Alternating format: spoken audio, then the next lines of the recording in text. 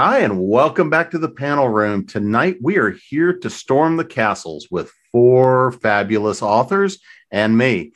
So, tonight, before we get started, uh, I am your host, Jim Nettles, but let's go around the room and see who is here to join me. Jeannie, we'll go with you first.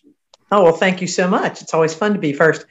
I'm Jeannie Adams. I write uh, paranormal romantic suspense, romantic suspense, space adventure with my friend Nancy Northcott. And we also do a series set in a castle on the Welsh Marches called Welcome to Caneham Castle or Christmas at Caneham and Christmas at Caneham Castle and Ringing the New at Caneham Castle and what's the trick or treat at Caneham Castle. so, hey, castles. Castles. Terri. Hi, Terri Brisbin, uh, historical and paranormal and fantasy romance. Um, love castles. I think I've pretty much written castle in every book I've written. Um, just turned in, uh, so I'm a little bleary eyed, my 54th book to my editor at 6 a.m. yesterday morning. So here to talk castles. Let's storm. And time to start working on number 55 as soon as we get done. Always. Amy, how are you this evening? I am doing just fine. Um, how can I introduce myself? I usually just say I write speculative fiction because I can't really decide what my genre is, but I write science fiction, space opera, fantasy, uh, what I call um, alternate mystery, which is my own little pet genre. But my real favorite is historical fantasy, and boy, do I love castles. I spent my 401k visiting castles. So I have neat pictures to show for it. And Nancy. I'm Nancy Northcott. I write historical fantasy for Falstaff Books. And the book on the screen with me is the first in a trilogy with a Richard III theme. And the castle behind me is Middleham, which was the home of Richard Duke of Gloucester, the future Richard III, during the time he headed the Council of the North for his brother Edward IV. Just wanted to put in that plug for Richard there. I also write space, uh, science fiction adventure with Jeannie, and uh, several different subgenres of romance. So let's start with the fun question here because everybody's here to talk about these nice big brick buildings. Um, what what is it about castles that that both you you know you personally love because you don't write about them unless you do? Um, but number two what is it about castles for you and story and storytelling and, and the tales you're telling? So jeannie we'll start with you on that one. Well they're stone james. They're stone not brick stone. Well you know what's not to love I mean, they're they're mysterious. They're you know battlegrounds. They're cauldrons of conflict. They're they're just awesome. Plus, you know, hidey holes and secret passages, and you know, built again, again and again over the centuries, and until no one knows what's really under the crypt. And you know, lots of lots of room for storytelling and plot bunnies there. So what's not and D and D campaigns.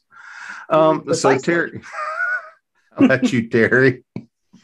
Um, I I'm going to pick up on the cauldrons of conflict. I like that, Jeannie.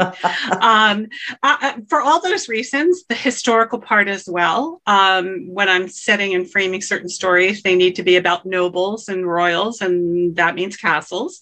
Um, and it does give you a lot of opportunity uh, for um, storytelling, and you can kind of, and as Jeannie said, with romance, we need alcoves we need hidden staircases we need balconies. So to me they just it's perfect. It's just perfect. I think we just found a new anthology. Oh and i i, I did want to mention because nancy mentioned it. The castle behind me now is dunstaffnage which is on the, uh, the west coast of, of scotland. And i actually used it in my very first time travel story. That archway travels through time that you can go through time through that archway. So excellent I, I must go visit if I disappear, you'll know what happened. Sorry. Amy, what about you? Oh, well, I love Castle since forever, basically, but I think my first real reading experience with them was Howard Pyle's Men of Iron, which is still one of my favorite books ever. And um, I feature several castles in a my accursed Scottish novel, I like to call, call it, because it's going on 20 years in writing it, not quite 20. Um, but the castle behind me is Urquhart Castle. It is east of Drumnadrochit on um, Loch, Ness, Loch Ness, and it's featured in my story, which will my novel, which will hopefully be published one day if I will quit revising it. I was going to say I, that looks a lot like the famed castle on Loch Ness, where you occasionally see the big fish. That, that's probably it, because that's they always put Urquhart because there's this really nice big pool there right in front of it, very very deep, and uh, they usually put Urquhart on it. There's several more buildings that you can't see uh, at what they call the Watergate um, because it basically was almost like a walled village rather than just a single castle. It had about, I think there's about five major buildings within it. So, how about you, Nancy? Um, I got enamored of castles very young. And I think it was possibly at the same time I got interested in historical romance. And I saw what I now realize was a highly fictionalized account of the romance of Charles Brandon and Henry VIII's sister, Mary Tudor, not his daughter, his sister, called When Knighthood Was in Flower. And then I got older and I started actually reading history. And I realized that to borrow a phrase from Camelot, knights were always not, not always about might for right. Sometimes it was about might for me but by that time, I was already in love with the whole knights and castles and the whole thing like that. And I learned not long ago, picking up on what Amy was saying about Urquhart Castle, is to um, on the opposite side from the book cover is a road. And at one point, there was a whole bailey next to the castle in the area where that road and the stable that sits on the other side of the road from the castle now are. And all that's gone. And interestingly, many of the buildings in the town are made of stone that matches the stone of the castle really well. As I recall, Middleham has that same problem, right? Well, I'm talking Middleham, yes. Oh, yeah.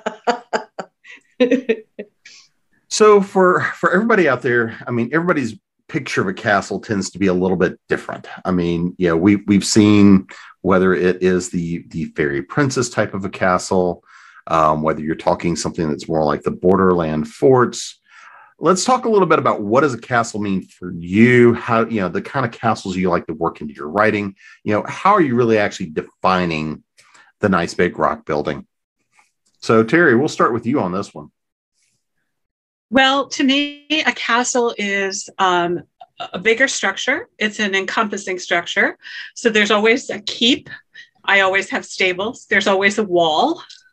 Um, I, other than Dunstaffnage, I haven't really used real castles as a specific site. So I tend to just keep it that simple. I have outbuildings. I have, you know, and mine certainly doesn't look fairy tale because it's middle age, medieval Scotland, and it's kind of rough and ready. Um, and none of my stories include like, um, well, there's the royal castles, but that's not; those aren't the main locations for the story. So they generally include more, you know, not hill and mott, but but they, you know, a keep and some walls, and yeah, that's what I use. How about you, Amy? And you're on mute. I keep coughing, so I had to switch. Uh, I've got three castles in my uh, novel. One is Urquhart uh, the other is Tulloch Castle, which is in Dingwall. And then there's a castle that no longer exists, which was Dingwall Castle, that the Stuarts finally got tired of everybody rebelling out of that castle and basically blew it to smithereens. But it has the same issue with Nancy's castle that you can still see parts of the castle in the town of Dingwall, including a very large house that was built with a stone that they reused from the castle. So um, I was really fortunate. I found a contemporary description of the interior of the castle and actually what was served at a feast during the time of um, James the Fourth. So um, that was very, very helpful. And the rest was totally my imagination. But the other castle, Tulloch Castle, which is on the side of the hill in Dingwall, um, it's very much more like the castles that Terri is describing. It's one building, basically the keep. Um, none of the Scottish castles have moats with water on them, although it's a moat in Bailey, but it's M O T E, and it doesn't doesn't mean that. Um, and Tulloch was up on the side of the hill, and it was totally and completely dependent on its walls for protection. And that castle, like some of Terri's castles, are very. It was very old. It was first built in the the main part in the 12th century. Um, was the dungeon was was all that's left of it. But I was fortunate because they turned Tulloch into a hotel. If you have plenty of money one summer, go to Tulloch Castle in Dingwall, Scotland, and you can stay there. It is haunted. I saw a ghost, which is really cool to have ghosts in your castle. And um, but sitting in the dungeon and writing for about an hour was absolutely creepy. Creepy, creepy, creepy, because there was probably 40 dead ghosts, you know, in there. And it was just plus stone walls are just freezing cold. you have to be, yes. you know, doesn't matter what time of year, it is so cold in a dungeon. So um, I just love them. There's just such uh, atmosphere in them. And my and in my particular story, someone is going from lord to lord trying to get a resolution of a family problem, and so they have to visit every castle. So these three castles are involved in my story. And actually, there's a fourth castle, but like um, like Dingwall Castle, it's long gone and stored away on the Isle of Lewis. So I've got four castles in my book. Probably why I can't finish the bloody thing. well, and if you're having to argue with all the different ghosts as to whose story you're going to tell, I mean that this is true. How about you, Nancy? I like the castles. I think of them as Anglo-Norman castles. The towers are flat and they have crenellations around the edges and along the walls. Now, for anybody who's not familiar with the term, the crenellation is the up and down pattern on the battlements because you can hide behind that and shoot arrows out at people across the ditch or if you happen to have a moat uh, across the moat. I like that kind. Some of the ones in Europe have um, round, pointy roofs on the tops of the towers. And I think it's as simple as that wasn't what a was in the storybooks I read when, in elementary school. So to me, that's not a castle. Um, a lot of the castles in the Highlands have really steep roofs on the halls, and I'm sure it's to shed snow. But there again, my preconceptions were formed when I was very, very young. And um, Ludlow Castle, which was a lot of the inspiration for Caneham Castle in the series that Jeannie was talking about earlier, is that kind of castle with the flat towers and the crenellations on the walls. And just as a little note of trivia, you had to get permission from the crown to crenellate. You couldn't just build your wall with those defenses. You had to get permission from the crown. Now, they didn't come along two generations later and say, Excuse me, you got to knock down those things that your grandpa put on that roof. I mean, once you had them, you had them. But um, that to me is a typical castle. It's it's what comes into my head when somebody says castle. How about you, Jeannie?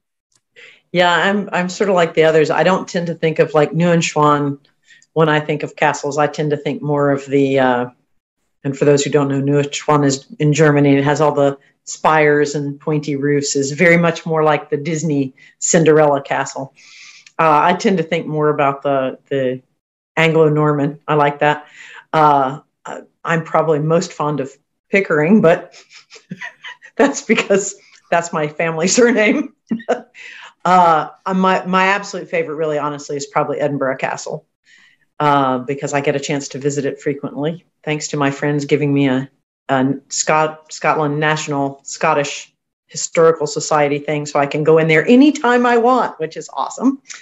You're and, killing me. Uh, You're killing uh, me. It's so great. The hard part uh, is having to pry you out. We know. one I feel like I absolutely have to see while I'm here uh, in Scotland, though, is uh, Jedburgh Abbey, which is built as a fortified. Uh, um, it's crenellated. It's fortified. It's a hill. It's basically it's not a hill fort because it's not that old, but it's basically a fortified manor, and uh, so that's one on that's absolutely on my list. And Lauriston Castle here in the city, here in Edinburgh, is, uh, but it's more late. It's really much much later and it's much more of a country home kind of castle than it is. And at my university we have a single tower remaining of a fortified uh, castle but it's from the 1300s and you know sort of in the middle of edinburgh so it wasn't really a battlement per se. Uh, but like Nancy said, I sort of sort of think of and like the traditional kind of crenellated tops and fortified walls that are like six feet thick. And so, yeah. Does that answer the question, James? oh, sure, we'll go with that. I mean, and, and sounded good. and mentioning having that kind of a tower at your university in Scotland, where you currently are, you know, that does feed into the idea of having to have somewhere to send the troublesome students. Um, yes, yes, we make them stand on the tower top in freezing rain. It's it's incentive not to misbehave and yet you keep winding up being oh sorry. So let's actually dive a little bit deeper.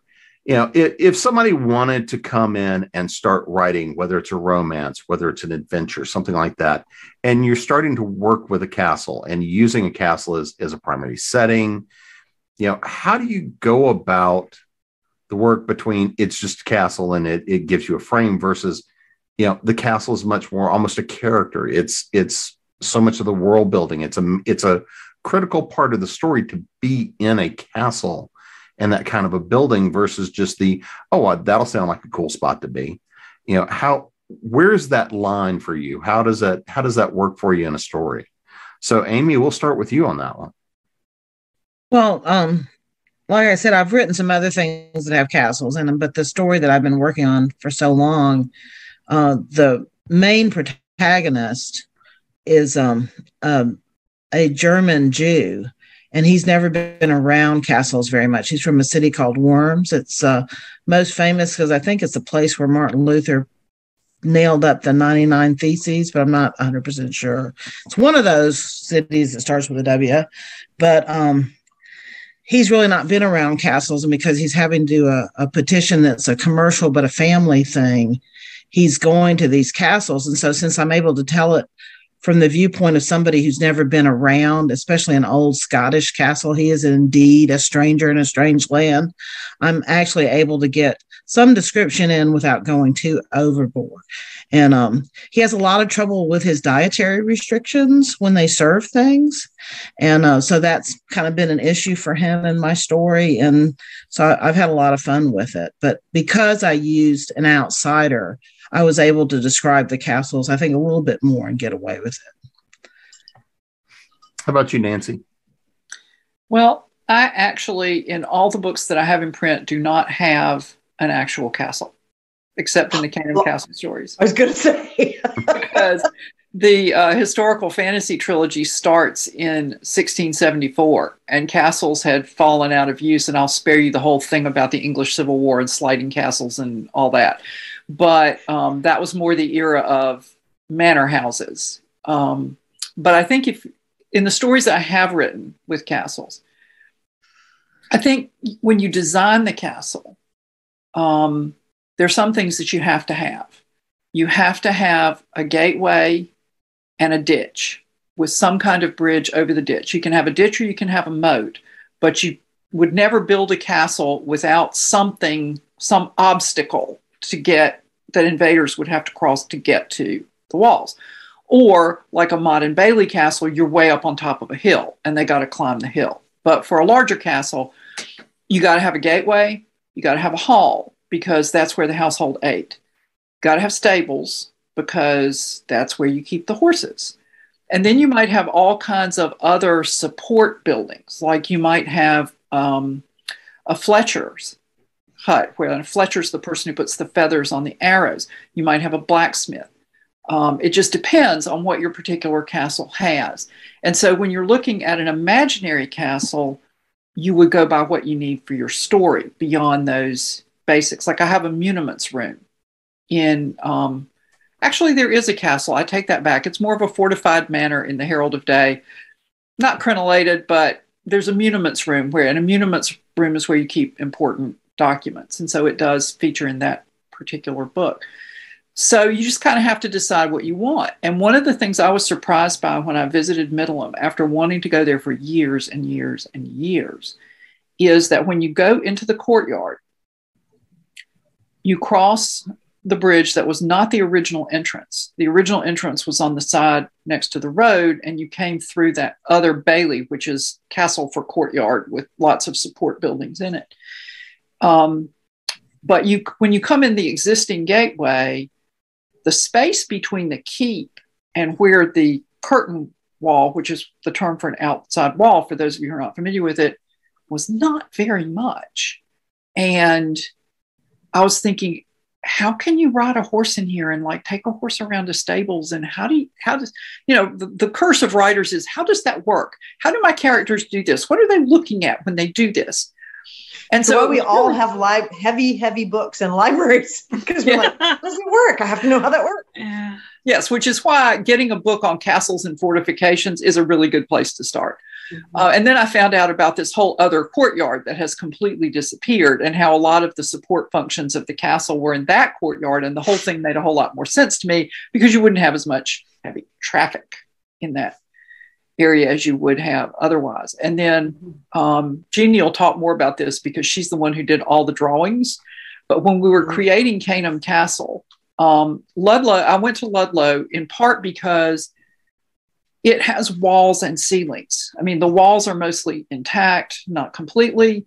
There are floors put in in places. You can climb up in the towers. You can feel what it's like to look out the windows. But then we started having people add on to it for how they wanted to do their stories, what they needed in their stories. And Jeannie had a real job because I would go, but but it's not, it's not. And she would go, Nancy, this is an imaginary castle we have to remember this castle is imaginary. We are putting in it what we need. So, um, so you do. Not actually gonna, Ludlow. Yes, not actually. It's not actually Ludlow. We're making this up. yes, we're making this up. Um, Inspired think, by a real castle, but. well, and that really literally is true. It was inspired by a real castle, which has a huge um, outer courtyard it's five acres. You could really assemble your troops in there if you're getting ready to march off somewhere. So we we kept the big exterior external courtyard because the medieval lord of the manor might have wanted to march his army off somewhere. But um, it was adapted for the story. It's just that I kept forgetting what we were adapting versus what I had seen walking the ground. And so um, it's if you're collaborating about a castle, it really does help if you remember it's imaginary. How about you, Jeannie? well, I had great heaps and piles of fun drawing the imaginary castle. Uh, and in the stories, um, Christmas at Caneham Castle is the first one. And in the stories, it is now a hotel and uh, one of these, the one of the fancy hotels like uh, Amy was mentioning. And um, but because it was a Welsh border fort, um, both what it was based on and what we have it as, uh, it is pretty heavily fortified. And so there is a, a, a ditch and there is a, an outer curtain wall with a portcullis gate and an inner curtain wall with a portcullis gate. um, one of the things, though, I wanted to mention to anybody who's thinking about putting a castle in a story is there's an absolutely amazing book by David Macaulay, and it's just simply called Castles, and it's a children's book. Do you have it on your shelf? I was just looking. Yep. Yep. it's absolutely fabulous because, like the Dorling Kindersley books, it it lists you know this is what this is and this where this is what you did in here. This is what a muniments room does. This is this is the armory. This is the fletcher's hut. It has all of those things and then descriptions of what they do. And i think i first read that book oh gosh decades ago and absolutely loved it was completely fascinated with it. And a lot of the a lot of the map drawing for Caneham Castle comes from the fact that I loved that book, and I love the Dorling Kinder, the DK books that show like levels and uh, ground plans and and you know elevations and things like that. Plus, you know, wanted to be an architect, so I like drawing all that stuff. How about you, Terri? Well, I have to double down too again on the kids' books. Um, what I usually do is when I am setting a story, deciding on the time period, then I kind of look to see what castles were around in the area. And luckily, you know, with the internet, you can find floor plans and pictures and reproductions. And so I kind of do that as a beginning um, to come up with an idea for the castle. I draw mine, but Jeannie, I am certain it is not to the level that yours are. kind of imagine a kind of imagine a stick person castle instead of but I I always, you know, as I'm going along in a story, suddenly I have them coming in from a different direction. Or so by drawing at least a basic layout, you know, of what I'm going to use. And uh, I I have to laugh about that. But I just worked on a collaboration um, last summer, the year before that, with six authors, and we decided to have a um, a tournament set outside of the huge castle, and we chose Wales or the border of Wales and England because there were so many great castles in that area in those areas. So, but we did too. We had the drawing. Somebody had was very artistic and because i think i'm a visual learner for the most part mm-hmm. and so i need to see it I, I same here to, yeah. yeah and the other well, part plus, is i Oh, go ahead. Oh, plus you have to, if you've got six or seven authors, you can't have somebody put one thing in the North Tower, then somebody put something else in the North Tower that's completely incompatible with the first vision put in the North Tower. So that's you kind of have to agree that's, on all that. That's right. And then I have been blessed to be able to go over to the UK and see a lot of the different types of castles and walking through them and looking out and seeing what they would be seeing and from different perspectives. That's helped a lot but i know that's not always possible. So um, i do go back to all of the kids books as well as the internet for a lot of texture to add. I just want to pick up on something that terri just said about looking out windows.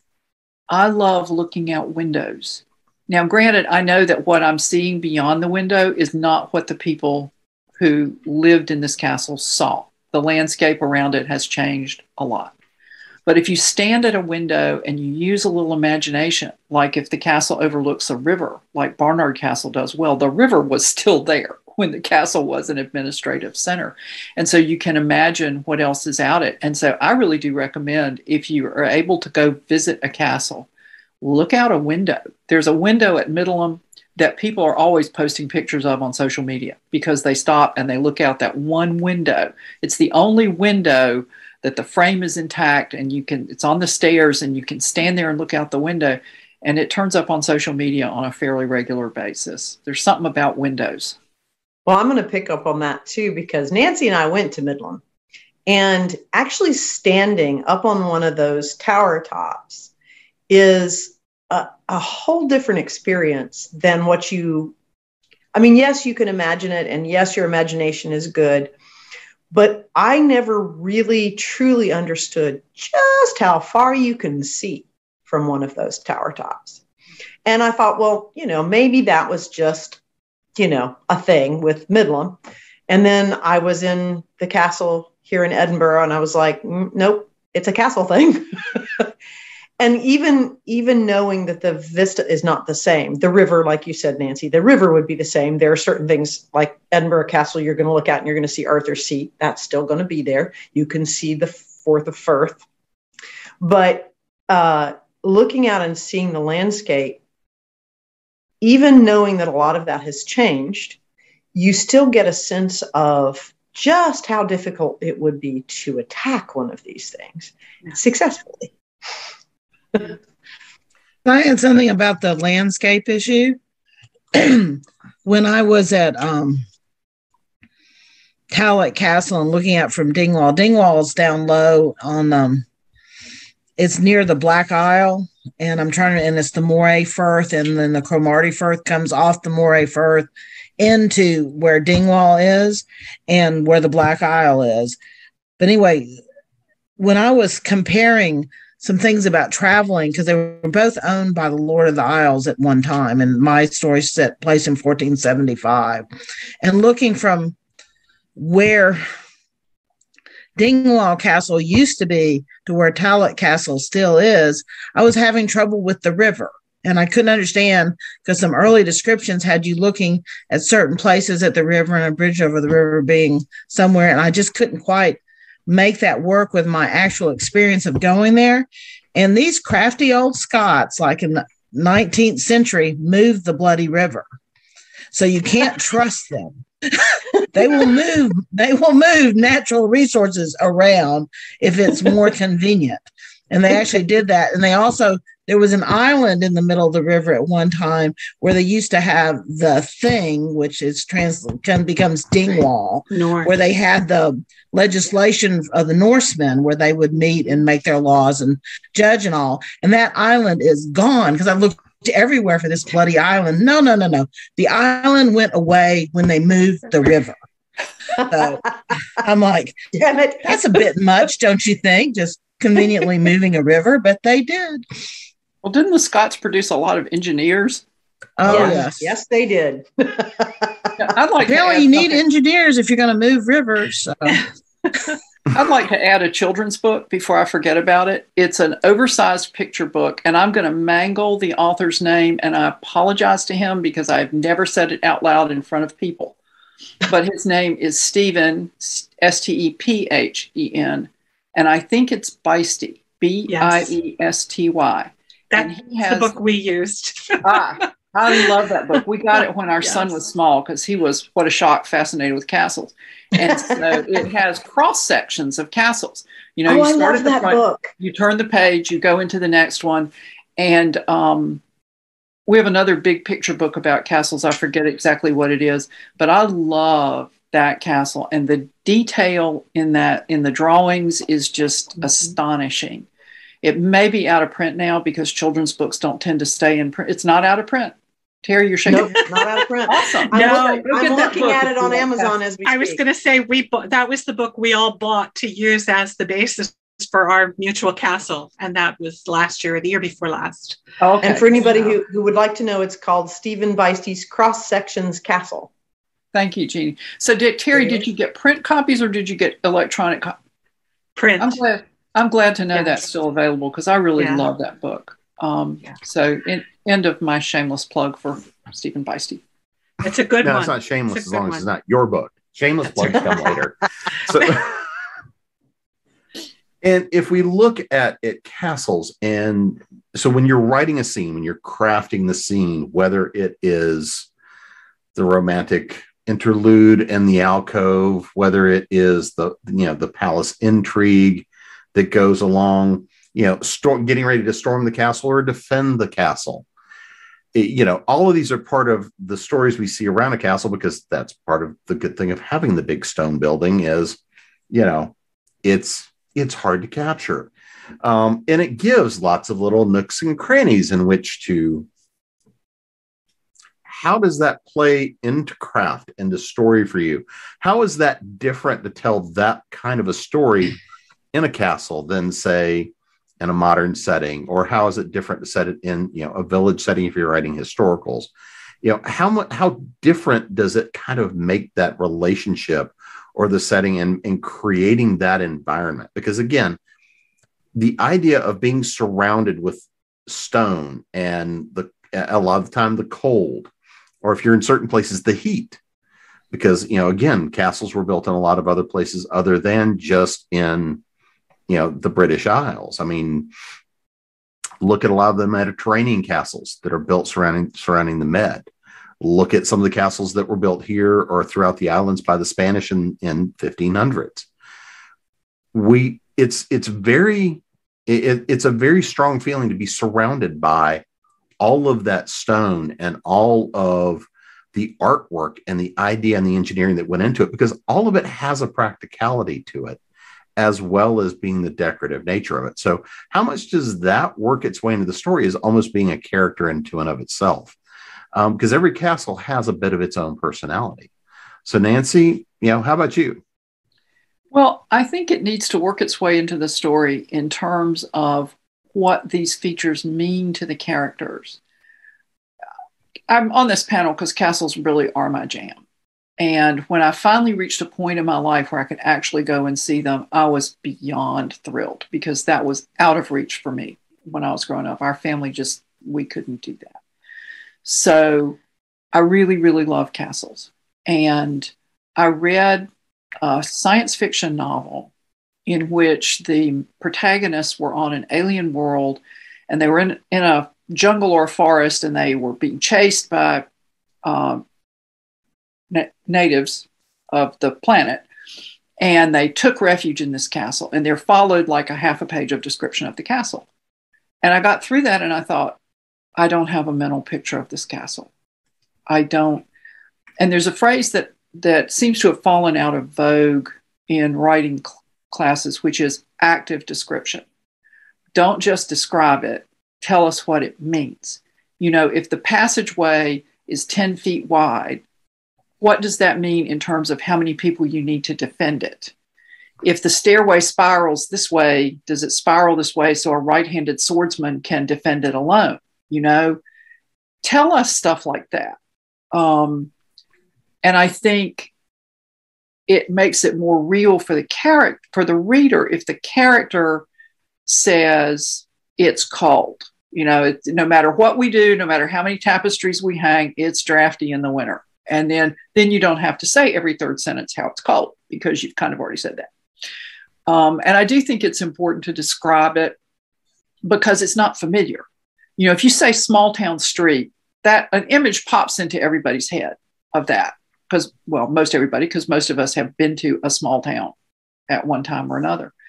Castle, the image that pops into people's heads most of the time, I think, is kind of vague and it's big walls and towers and a gateway and stuff like that. And so, if you want to make it more than that, like in Lord of the Rings, there's that scene where um, the orcs are trying to batter down the gate at Helm's Deep, and Aragorn and Gimli go out what's actually known as a sally port. And that's where the phrase sally forth comes from. You go out the sally port with a relief party against the besiegers. And Aragorn has to throw Gimli because the sally part is too far from the ramp to the gate for Gimli to jump it. And it's a nice little character bit because Gimli hates to be tossed. You know, earlier in the in the series, he goes, "Nobody tosses a dwarf," and then here we are at Helm's Deep, and he's got to ask Aragorn to toss him.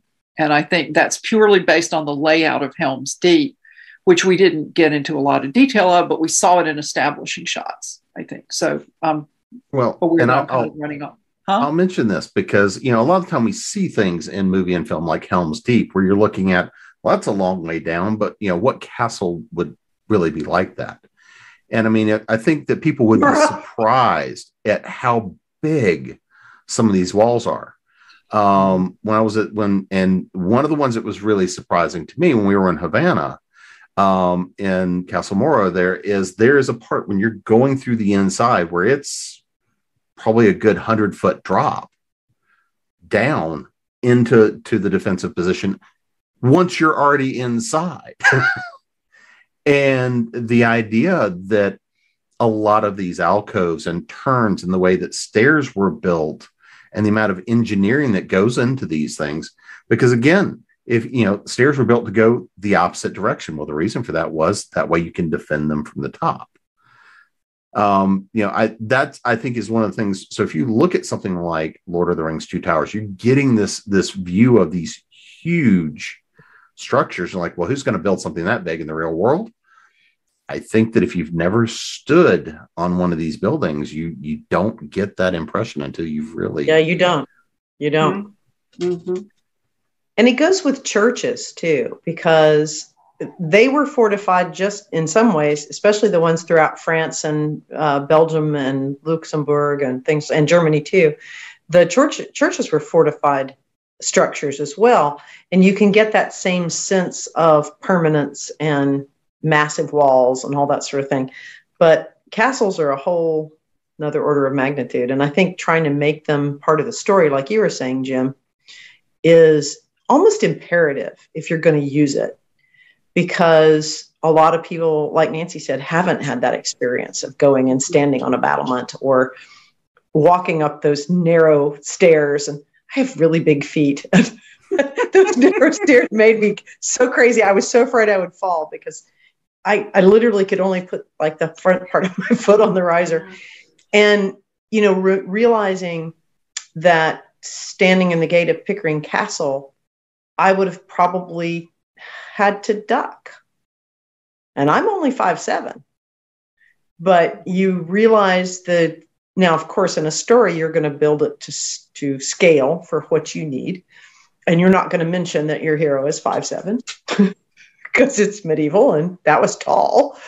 Uh, but I think making it part of the character is is almost an imperative so that people can get the sense of it if they've never been.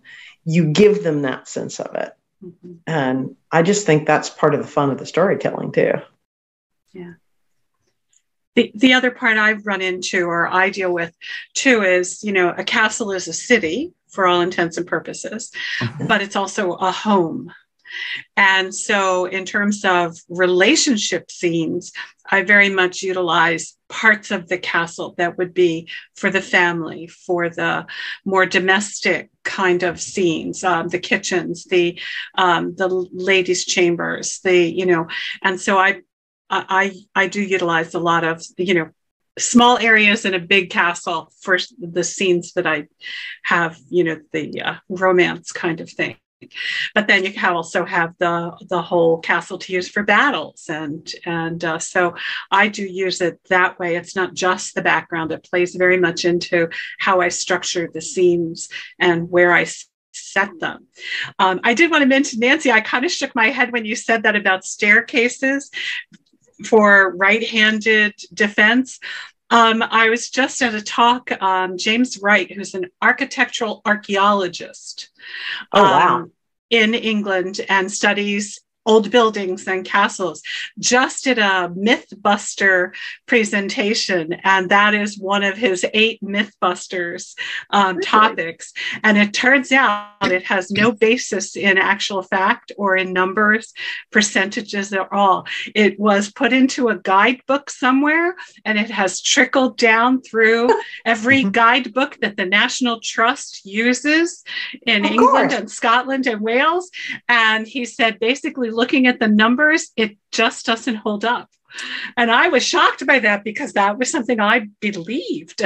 Well, there's uh, actually but, there. Uh, sorry to interrupt. There's actually an interesting counter study that was done to that, where they did an experiment where they put knights in full armor and put them into the spirals to see what it was like to attack and defend.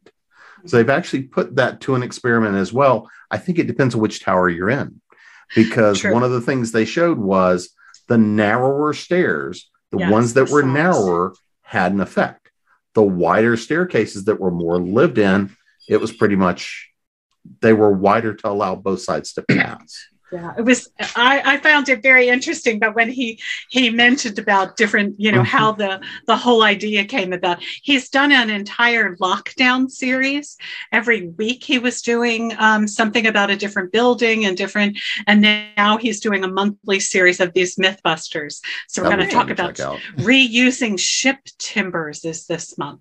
So um, but he, they're available. His blog is online james wright and it's uh, he's very interesting interesting. Is that W R I G R W R I T? W R W R I G H T, and his company or his um, is called Triskele Heritage. Um, cool. And yeah, very uh, just amazing stuff. So I should check that out. How about yeah. you, Amy? Oh, I'm sorry, Nancy. Go ahead. Well, no, I was I was just go ahead, Nancy. That's a, no. Oh, I wanted to mention that you know with Scottish castles, especially in the the far northern Highlands, which were really very much influenced by the Vikings, who weren't just Vikings there. I mean, they came in, they conquered, they ruled them for a while. That for many years, um, the Hebridean Islands were owned by the King of Norway, and they were gifted to the Scottish king when he married a North a Norse daughter, basically.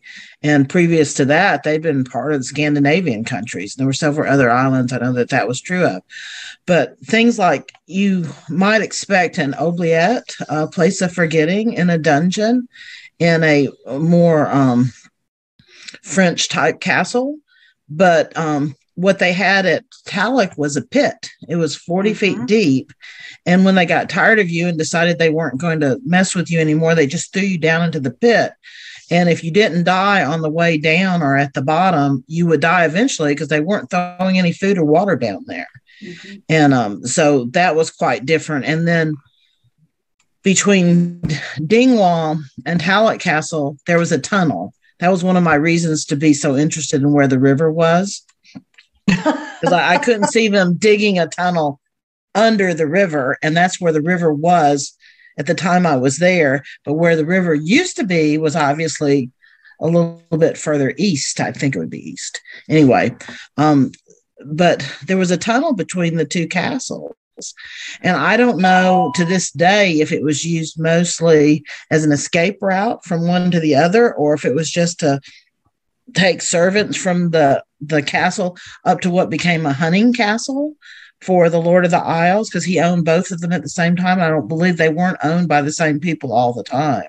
Mm-hmm. So even though there's lots of things that we can look at about castles and say these are similar and they have these things in most castles, if you're going to actually write about historic castles, those little suckers have differences. They're very yeah. individual and distinct, and everyone I saw was quite different. I I love them, and I was only in the I was only looking at castles in the Highlands. I've been to Edinburgh Castle, but I was there during the tattoo, and they won't oh, let oh, you fun. in the castle during the tattoo. My no, husband wanted to go, so yeah. Well, there's but, actually a pitfall I'd like to bring up, which is um, I think you can write a really good story set in a castle, looking at images online and getting books. I don't think it's necessary to walk the ground. It's a great perk, and obviously all of us love that, but it's not necessary. So if you're sitting there watching this and thinking, I want to write a castle story and I can't afford to go there, you don't have to go there. But the pitfall that I'd like to address is also don't do your research in movies because yeah. when I was growing up, uh, the Camelot movie came out with Richard Harris and Vanessa Redgrave and Franco Nero. Wow, what a gorgeous, great hall. Um, the Ed, the Errol Flynn Robin Hood, one of my all-time ever favorite movies, gets shown almost every year on TV somewhere, and I do happen to own it. And the Great Hall of Nottingham Castle. Wow, it's big. and then the Douglas Fairbanks Robin Hood. it's enormous. Nottingham Castle. And so I sort of had this expectation that all Castle Great Hall were huge. No. I finally was able to achieve the ambition of my entire adult life seven or eight years ago and go in Westminster Hall, which is the remnant of the palace, the medieval palace of Westminster. It's at the Houses of Parliament. And it was at the time one of the biggest structures of its kind in Europe. And it's big, like those movie great halls are. Middleham Castle, not so much. Warwick Castle, not so much. And so you could put the entire Great Hall of Middleham Castle in roughly a quarter of Westminster Hall. And it's, you know, it, it just wasn't ginormous like it was in the movies. And I was talking to a friend who was a tour guide in the UK, and he was saying, talking about um, showing an American woman around because naturally it would be an American woman. And she saw the castle and expressed shock that the Great Hall was not bigger. And he was like, "Well, you know, they they housed they held the household, and this is the way it was." And she went, "Well, why didn't they just make them bigger?" And it's like, that really wasn't that simple you well, have to defend it. It's harder to defend a bigger. So um, I love. And there's engineering and timber length yes. and yeah. yeah. Well, so I love cost. those movies, but don't use their great halls because they're way too big. Just wanted to. Yeah, and you've got to have proper foundations for those. When I was in Urquhart Castle, in the part that's identified as the Great Hall, I looked around and I went, "Oh my God!" My parents' living room was this big you know, that was built like in the 70s. And, you know, it was like 40 by 20 because it was kind of a spectacular house that they had for a short period of time. That I was luckily lucky enough to grow up and go to high school when we were living in that house. And I'm like, damn, I wish my dad was around to see this. He would be delighted that he basically had a great hall and didn't know it. So, yeah. Yeah. And I find one of the pitfalls, Nancy, playing on what you just said, is windows um, in true castles for defense, there were not big windows. You couldn't, you know, um, and I find that is when I see someone writing about all the windows and the glass windows in a castle. it's like, yeah, no, it's another pitfall because we see it on the movies and we see it on, you know, um, and and I that's something I almost made that mistake. So I yeah. I hold it near and dear to my heart. on the first floor of of uh, Tulloch Castle, they didn't have any windows; they just had murder holes. That was right. it. You know, the nice little crosses so that you can conveniently shoot an murder. arrow at somebody. Yeah. Yep. Yeah. It was so See? funny because I always thought those must have religious significance. God, was I wrong? They did. You're going to go so, send somebody to meet their maker. Basically, That's yeah. right.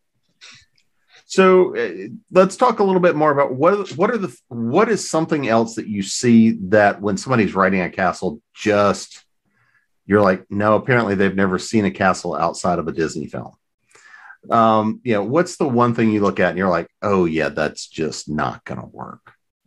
So Jeannie, I'm gonna hit you up for that one first. Oh gosh. Um, well, I, I do kind of think that so many people write castles as having moats, and a lot of them had ditches but didn't have actual moats. And the moats, uh, you know, they talk about the moats being really deep. And that did happen in France, and the French castles often did have very deep moats, but the English ones, they generally, from what I have read, and Nancy and Terri and Amy, you can correct me if I'm wrong, but they were more ditches than, and if they happened to have water in them, great. But they weren't made as moats, and people did not sail little boats on them. Thanks for tell me they didn't have alligators. I was going to say you're really you are breaking my heart here. well, and the other thing about moats, they weren't so pretty with little ducks and all swimming in them because they dumped waste into them. You know, human waste. Moats were pretty nasty. So, yeah, there's well, a you, want, you wanted it to be as filthy as possible to dissuade people from taking that bath. Oh, gross. Ugh. but there's this castle. It's Bodiam or Bodium. I can't remember how to pronounce it. That is, it's not just has a moat. It's like on an island and you go across yeah. a causeway to get to it. And that's the only one I've ever seen that had a moat that had water in it. Now, apparently, there used to be water around the Tower of London in what's now the ditch, but there isn't anymore. And um, there's this castle that I finally got to see. It's called Sandal Castle. It's in the town of Wakefield. It's a big Wars of the Roses castle. Richard III and Edward IV's father was killed at the Battle of Wakefield outside Sandal Castle and it's got the steepest ditch I've ever seen. It's it's really a deep, steep sided ditch on both sides, and then the the central mound where the castle sits is even higher. And so when I was there, it was considered to be unsafe and you couldn't cross the bridge to the island. So I didn't get to see that part. But I was looking it up recently online and they had so much rain in Wakefield that there was water in that ditch for the first time in centuries, they said. Unfortunately, I don't know whether it, that ditch was intended to be a moat because the castle is kind of even with the town on one side, and then on the other side, the ground drops away sharply, and you would see how it would dominate the skyline of the valley below. But I, now I need to know that, and I don't know where to go to know it because there's not really a guidebook. The castle is managed by the county council, and they have brand new signboards according to the article and that's you know great. I'm glad they did that. I'm glad the middle part is open again but i can't go there. So the signboards are not accessible to me at present. So i would like to know whether it was originally a moat or just a ditch and now that's going to bother me till i figure it out. You know one of the things that really bothered me about urquhart i mean it's built right on that little point going into Loch Ness, they could have had water in their moat. It wouldn't take you know, these smart Scottish engineers could have figured it out. But did they put water in their moat? No, it's a ditch. You know, it's, it's only a ditch. But there are, and up in the Hebrides, their their Stornoway Castle originally was built on a small island, and then there's at least one other that I'm using as a model for Stornoway Castle that's built on another one of the islands, not Lewis the Isle of Lewis, Isle of Lewis, Isle of Harris are all one big island, um, but it's on a very small island, a little bit further. Oh, I guess west and south from there. And I was going to study it some more and use it as my basis for Stornoway because there's nothing left that tells you about the old Stornoway Castle. It doesn't. It's under a dock right now, so there's no way to even go there and look at it. Handy place to keep it. Yeah, it got in the way. They built they built a ferry dock over it. So, well, Fotheringay yeah. Castle, where um, Richard III was born, was kind of the family seat of the House of York, and it did have a moat from the river around it. Uh, doesn't anymore, and all that's left, and there's like a metal fence around it, is this little lump of stonework. That's it that's all that's left of the castle. I mean, you can climb the castle mound. There's no castle stuff up there. And by poking around on the internet, I found that when they dismantled the castle, they sold it. And these people in this nearby town took the stone and built an inn and a tea room with it. So now I have to go there. That's yeah. just, of course you do. I have to go there. Dingwall, all that's left is one of the little tower turrets, and it's a folly in somebody's front yard, but it was actually they removed it and put it over there. I don't know how they got it there. Now Probably had to rebuild it on the spot. so we're coming up on time, but I do want to throw one more little question out there as a lightning round. And Nancy, I'm gonna make you go last because this is gonna make you're gonna just sit there and buzz like a bee until I let you answer it. So flap your wings, Nancy. Very fast. So what's what's the one kind of castle mystery that you want to work into a story. The real historical mystery that from any castle that you want to pull into a story. Mm. Or maybe in some case have already done so, which is why Nancy has to go last. I want to go. All right, Amy, you're up. Uh, Stirling Castle. I can't remember it was John Damian or one of the crazy wizards that they had over there. This he built some wings like Da Vinci and actually tried them out by jumping off the castle walls. And I so want to get that into something. And it didn't kill him. He apparently fell in some brambles. Uh, but I so want to get somebody trying out some wings and jumping off a castle wall, but I just can't figure out how to get it and my my story has a lot of urgency and it has a it has a ticking clock that they have to do so i can't get it in there. I was able to get him in there as a young man but i couldn't get crazy jump off walls with wooden wings into my story so. That's why you need the madman's you know the madman alchemist. Yeah. It's just the comedy relief in the background going oh god what's he doing today and has he gotten himself killed yet that that would have been me. Let's just let's just quantify that. So, Jeannie, how about you? Oh gosh, I just actually can't think of one. I think it's probably so late for me. My brain is on fry. Uh, I can't think of anything that I haven't already. Like, I wanted to know what was under the dungeon, so I used that in Canham Castle. Ghost. Ghost. Yeah, and of course. Oh, that's always something I would want to yeah. use as ghost. Yeah. Who may, who actually died there? That would be cool. Well, you did use a ghost. I know. I use ghosts as often as I can. and I also used the secret dungeon under the dungeon. Hmm. Spirit of the story. There so, you go. Really? How about you, Terri? Um, well, the one that I really wanted to use, I actually have used in a fantasy series. It was um, Yester Castle, which is in um, kind of eastern central Scotland, not far from Edinburgh. Um, and there's a hall that was built, the only part of the castle that remains, and it's called Hobgoblin Hall and it was rumored to be built by a magician who was a counselor to Alexander III before he mysteriously fell off his horse and died, leaving Scotland without a king. And I just got such an inspiration from that that I based him. He became the villain of my four book series.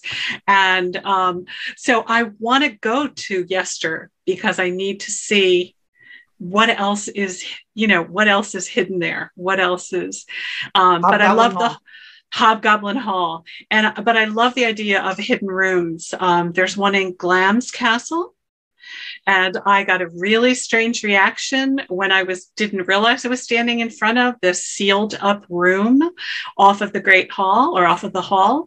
And there are stories about it. And I really that's something I would like to explore is what happened for real and who's behind that, who is who ended up there. All right, Nancy. Well, uh, what Jim is ragging on me about is that the thing that runs through the the trilogy, the first book of which is next to me, the Boar King's Honor trilogy, is named because Richard III used a white boar as his symbol. And the premise of the trilogy is that an ancestor of the Mannering family in 1483 unwittingly helped the Duke of Buckingham murder Edward IV's sons, Richard III's nephews, aka the princes in the tower. And so he realized that subsequent members of his family did not feel his great guilt over having sullied the king's name because Richard III was blamed. And when the Tudors killed him at Bosworth Field, saying, Oh, by the way, he was really a great guy, could have gotten this wizard ancestor killed. And so he cursed his family line, and the heirs can't rest in life or death until they clear the king's name. Um, so since then, and I'm going to save you all my soapbox because I do have a soapbox that I mount on this topic. I would just suggest that I've come around to the belief that those boys did not die, that they were moved away for their safety. Um, and I suggest that everyone who has read only Shakespeare and believes only Shakespeare needs to get a grip and read The Survival of the Princes in the Tower by Matthew Lewis. And apparently, I am. You I'm are with you. I am with you on that. Yes, I, that, yeah, that's an awesome book, and he really examines the different theories about the fates of those boys. And he never says, "I think this is right." He says the things in favor of this are this, the things weighing against this or that, and he lets you make up your own mind. So, um, but if all you have ever been exposed to Shakespeare is don't even talk to me, don't at me, as the saying goes, go read that book. That's all I got to say. That's why Jim made me go last because he knew I would get started and it's hard to shut me up. So I'm shutting up now. You can stop flapping your wings now. well, I want to thank everybody for coming and hanging out with us for a, a good long while this evening to talk about, you know, fishing in the castle moats. Um, but before we get out of here, I'm going to ask everybody, let everybody know where we can find you, social media, websites, what's that next release that's coming out, all that kind of good stuff. So, uh, Jeanne, how about you?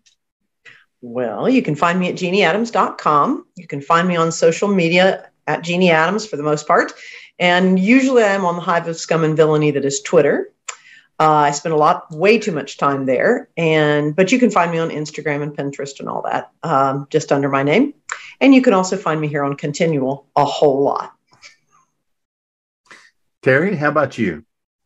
Um, yeah, I'm on uh, my website is terribrisbin.com. Um, I'm on Facebook. I'm on, you can find those links on my, my homepage at, at terribrisbin.com. Amy? What else was that? It. Oh well, no, your newest release, and... which is right there over your shoulder. Yeah. yeah. Oh, oh, and yeah, I have there's... a I have a new release coming out. I think it, it's out in England, but it's not here. But the Highlander Substitute Wife, which is the beginning of a Highland Alliance's um, new three book mini series. Thank you, Amy. I should mention that I write under a pen name that Amy Herring is Amy Louise Herring is my real name. My pen name is Louise Herring Dash Jones. I maintain haphazardly a web page at louiseherringjones.com. I stay off of Facebook until I finish the Accursed Scottish novel, except I post bird drawings once a month, whether I need to or not. And um, but I am starting to go back to conventions. I was just at Chattacon. I think I was on five panels in Chattanooga. The next one after that is LibertyCon, also in Chattanooga. I'm supposed to go to JordanCon, but they said I don't have any panels. But they said that last year, and I had panels. I just found out after I got there, so I don't know for sure. And then I'll be at Contraflow in New Orleans and I'll be back at World Fantasy Con also in New Orleans this year. So, um, and with any luck, Dragon Con, but I work Dragon Con, so you won't be able to find me unless you want to be interviewed, and then I want to talk to you. So, well, we'll have to arrange that at Dragon. Uh, Nancy? You can find me at nancynorthcott.com. I'm on Twitter at Nancy Northcott. And like Jeanne, I spend more time there than is probably good for me. I have a Facebook author page that I'm after neglecting it for some time, trying to get back into shape. And I discovered that Facebook completely changed how that page worked while I wasn't paying attention. So I'm trying to figure that out.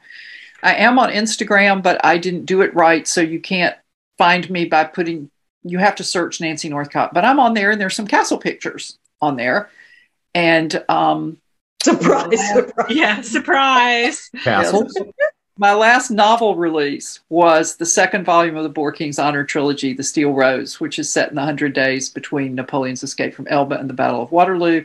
And the It's concluding so volume, good. thank you. The concluding volume, good. The King's, thank you. W- The King's Champion is the concluding volume. It'll be out this year, and it starts at the Dunkirk evacuation and ends during the Blitz. And I'm Jim Nettles. You can find me at jamespnettles.com, authoressentials.net, um, speculativefictionacademy.com, and of course, here at Continual when they turn me loose and let me out of the cage. So, other than that, I want to thank everybody for coming and hanging out with us this evening, and we will see everybody again soon. Yeah, Thank bye. you. Good night.